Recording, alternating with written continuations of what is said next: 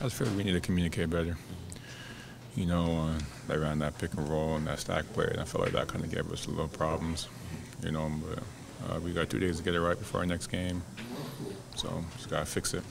You guys are running out a bunch of lineups that haven't played a lot together, just Mhm. given your injuries. Is that contributing to some of those issues, or No, I Yeah. don't, I don't think so. Uh, we practice together, you know, and you know it's just principles. Like you know what what you got to do. You know, it's just defensive reads. You know, we all got to do better.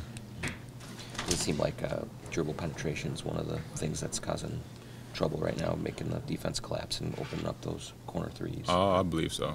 Yeah. You know, pick and roll is the main thing, though. For you offensively tonight, what what was working, what felt good? Mm, just getting to the basket. You know, I, I feel like that opened up my shot a lot. You guys got some pretty important contributions from guys like Jared and Lou, and that's Mhm. been the case these last couple of games. What do those mean to this team? Um, it's big. You know, those guys are professionals. You know, when their name is called, and you know, they're ready to come out and perform. You know, and give us what we need to, you know, win. You know, or have a chance to win in battle. Just in terms of cleaning up some of the defensive issues, how Mhm.